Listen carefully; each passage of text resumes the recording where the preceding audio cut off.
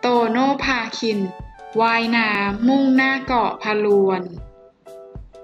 การว่ายน้ำของหนุ่มโตโน่พาคินคำวิไลศักดิ์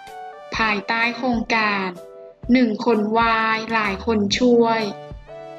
เกิดเหตุการณ์ตามที่ทีมงานคาดไว้ว่าร่างกายของหนุ่มโตโน่อาจจะต้องเจอกับอาการบาดเจ็บ โดยเส้นทางการว่ายน้ำวันที่ 4 ช่วงเช้าระหว่างเกาะเชือกไปสู่เกาะพะลวน โตโน่เกิดอาการบาดเจ็บที่หัวไหล่ทั้งสองข้างและบริเวณหลังจากการว่ายน้ำติดต่อกันหลายวัน รวมถึงชุดว่ายน้ำที่ใส่ปกป้องร่างกายของหนุ่มโตโน่ก็ขาด จึงทำให้น้ำรั่วเข้าไปท่วม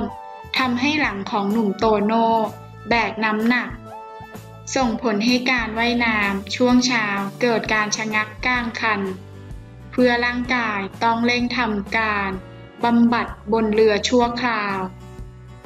แต่อย่างไรก็ตามแม้ร่างกายจะเจ็บปวด แต่หนุ่มโตโน่ก็ยังคงยืนยันว่าว่ายน้ำไปให้ถึงเป้าหมาย วันนี้คือเกาะพะลวน จังหวัดสุราษฎร์ธานี